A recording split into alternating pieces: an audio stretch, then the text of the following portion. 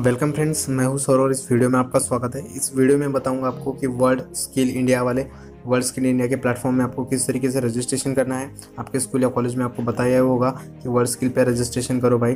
तो उसकी सारी प्रोसेस मैं इस वीडियो में बताने वाला हूँ तो वीडियो को ज़रूर लास्ट तक देखिए। अगर आप हमारे चैनल पर नए हो तो चैनल को भी सब्सक्राइब कर लीजिएगा। तो देखिए दोस्तों, आपको कोई भी एक ब्राउज़र ओपन कर लेना है और ब्राउज़र में आपको एक लिंक ओपन करना है। उस लिंक मैंने, वो लिंक मैंने डिस्क्रिप्शन में भी दे रखी है। वहाँ से भी आप उसको डायरेक्ट ओपन कर सकते हो।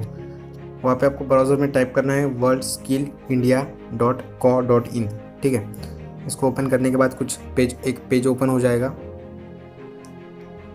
मेरा दोस्तों, इंटरनेट कनेक्शन थोड़ा स्लो है तो वहाँ पे चाहूँगा थोड़ा आपको वेट करना पड़ेगा। तो देखिए, वेबसाइट ओपन हो चुकी है और यहाँ पे अप्लाई नाउ वाला जो है, टैब ओपन हो चुका है। तो मैं यहाँ पे क्लिक कर देता हूँ, अप्लाई नाउ। केरला, बिहार चंडीगढ़, आंध्र प्रदेश, ओडिशा, गुजरात, इन स्टेट के बंद हो चुके हैं। दोस्तों, रजिस्ट्रेशन अगर आप इन स्टेट में नहीं हो तो आप कर सकते हो, ठीक है? तो देखिए, कुछ इस तरीके का पेज जो है नया ओपन हो जाता है। उसको आपको नीचे की तरफ़ स्क्रॉल करना है। और देखिए, दोस्तों, यहाँ पे सिलेक्ट यूर स्किल।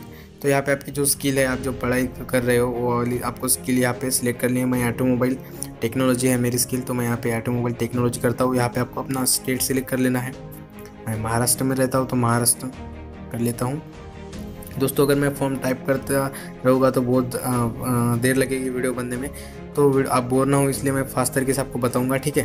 तो देखिए, यहाँ पे जो आपको बोल रहे डिस्ट्रिक्ट यहाँ पे जो है स्टार वाला, जो रेड स्टार है, वो वो जो कॉलम है, वो आपको भरना ही है। रेड वाला कंपलसरी है, ठीक है? यहाँ पे डिस्ट्रिक्ट है तो जब जिस डिस्ट्रिक्ट में मतलब जिस ज़िले में आप अभी पढ़ रहे हो करंटली करंट जिस ज़िले में आप पढ़ रहे हो, वो आपको यहाँ पे डालना है, ठीक है? आपका जो जिस जो मतलब आप गाँव में रहते हो और दूसरे ज़िले में पढ़ने के लिए आए हो, वो वाला ज़िला आपको यहाँ पे नहीं डालना है, ठीक है? तो जिस ज़िले में रहते हो, वो ज़िला यहाँ पे डाल दिया, आपका फ़र्स्ट नेम यहाँ पे मिडल नेम यहाँ पे लास्ट नेम उसके बाद आपको तो पता ही है जेंडर और डेट ऑफ़ बर्थ और यहाँ पे आपको ईमेल आईडी डालना है, चालू वाला, उस पर आपका रजिस्ट्रेशन नंबर आएगा, ठीक है? सब प्रोसेस होने के बाद। यहाँ पे आपको कॉन्टैक्ट नंबर डालना है, यहाँ पे आपके बर्थ प्लेस और यहाँ पे देखिए दोस्तों करंट एड्रेस मतलब आप पढ़ाई करने के लिए दूसरे शहर आए हो तो वो वाला एड्रेस यहाँ पे आपको डालना है, ठीक है? एड्रेस लाइन वन में आपका एड्रेस डालना है टू अगर आप नहीं डालोगे तो चलेगा। एड्रेस लाइन टू अगर आप नहीं भरोगे तो। और यहाँ पे देखिए, अगर आप जिस भी स्टेट या ज़िले में पढ़ने के लिए गए उस ज़िले का आपको यहाँ पे इन्फॉर्मेशन भरनी है। स्टेट देखिए, जिस ज़िले में आप पढ़ने के लिए आए जिस राज्य में आप पढ़ने के लिए वो स्टेट आप यहाँ पे सिलेक्ट करिए। यहाँ पे ज़िला और यहाँ पे पिन कोड ठीक है? और यहाँ पे जो है दोस्तों, जो चौथे नंबर का कॉलम है, यहाँ पे address as per Aadhaar card and government approval ID Aadhaar card या ड्राइविंग लाइसेंस या कोई भी गवर्नमेंट आईडी अगर आपके पास हो तो वहाँ पे जो आपका एड्रेस है मतलब आप परमानेंट एड्रेस है, वो वाला आप यहाँ पे डाल सकते हो। एड्रेस लाइन वन में मतलब आधार कार्ड पे जो आपका एड्रेस होता है, वो आप सिंपल तरीके से यहाँ पे डाल दीजिए। और यहाँ पे आधार कार्ड पे जो आप जिस स्टेट है, वो स्टेट भी यहाँ पे डाल दीजिए डिस्ट्रिक्ट भी डाल दीजिए और पिन कोड डाल दीजिए। तो नेक्स्ट वाला कॉलम आता है एजुकेशन क्वालिफिकेशन तो एजुकेशन क्वालिफिकेशन में आपको क्या करना है दोस्तों, अगर आप नो फॉर्मल एजुकेशन है या प्राइमरी एजुकेशन है, आपका जो भी है, वो सिलेक्ट आप कर लीजिए। मैं वोकेशनल क्वालिफिकेशन कर लेता हूँ। तो यहाँ पे आपको बोलता है दोस्तों you are a P M K V Y candidate तो मैं नहीं हूँ तो मैं यहाँ पे नो कर देता हूँ। अगर आप है तो आप एस कर दीजिए। यहाँ पे are you from I T I vocational training institute तो मैं हूँ तो यहाँ पे आपको एस कर देना है। अगर आप नहीं है तो आप नो कर दीजिए।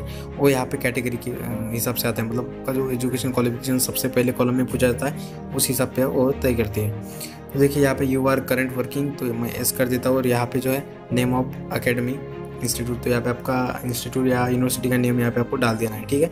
वो सब होने के बाद यहाँ पे एक कैच पा दिया जाएगा देखिए C E three zero seven catch पाई डालने के बाद आपको सबमिट वाले ऑप्शन पे क्लिक करना होगा और आपके ईमेल पे एक ईमेल आ जाएगा और आपको वहीं पे एक रजिस्ट्रेशन नंबर प्रोवाइड किया जाएगा, वही रजिस्ट्रेशन नंबर आपके कॉलेज में आपको दे देना है, ठीक है?